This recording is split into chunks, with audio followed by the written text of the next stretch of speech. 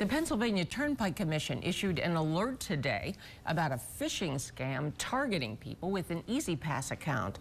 Turnpike officials say just this afternoon they were advised of a scam in which E-ZPass users received text messages from a number that purports to be PA Turnpike toll services.